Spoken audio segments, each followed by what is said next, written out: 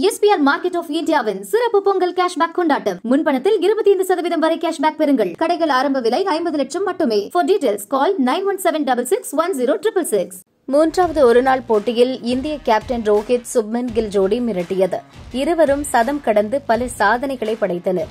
India வந்துள்ள New Zealand அணி மூன்று போட்டிகள் கொண்ட ஒருநாள் தொடரில் பங்கேற்கிறது. முதல் இரண்டு போட்டிகளில் வென்ற இந்திய அணி ஏற்கனவே இரண்டுக்கு பூஜ்ஜியம் என தொடரை கைப்பற்றியது. மூன்றாவது போட்டி மத்திய பிரதேசத்தின் இந்தூரில் நடந்தது. டாஸ் வென்ற நியூசிலாந்து அணி பவுலிங் தேர்வு செய்தது. இந்திய அணிக்கு கேப்டன் ரோஹித் சுப்மன் கில் ஜோடி சூப்பர் துவக்கம் தந்தது. இருவரும் பவுண்டரி சிக்ஸராக விளாசினர். அபாரமாக விளையாடிய ரோஹித் ஒருநாள் போட்டியில் முப்பதாவது சதம் எட்டினார்.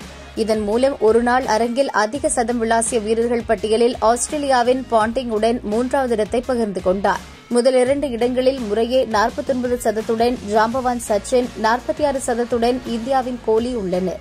தவிர இப்போட்டியில் ரோஹித் எண்பத்து மூன்று பந்தில் சதமிட்டினார். இது ஒருநாள் போட்டியில் இவரது அதிவேக சதமாக அமைந்தது. இதற்கு முன் இரண்டாயிரத்தி பதினெட்டில் நாட்டிங்ஹாமில் நடந்த இங்கிலாந்துக்கு எதிரான போட்டியில் எண்பத்தி இரண்டு பந்தில் சதம் கடந்திருந்தார்.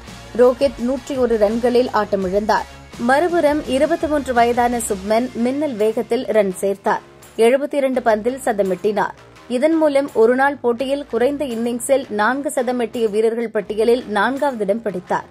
இந்த இலக்கை எட்ட இவருக்கு இருபத்தி ஒரு இன்னிங்ஸ் தேவைப்பட்டது. ரோஹித் சுக்மன் பார்ட்னர்ஷிப் அடிப்படையிலும் சாதனை படைத்தனர்.